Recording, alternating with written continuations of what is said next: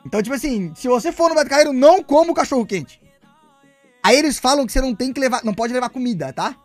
Não pode levar comida de casa. Mano, dá meio-dia, o que tem de gente fazendo piquenique naquela praça central, velho, tirando um sanduíche de presunto e queijo. Tá tipo, mano, ninguém obedece. Leve comida, mano. Ninguém obedece. Enfim, velho. Aí, quando a gente chegou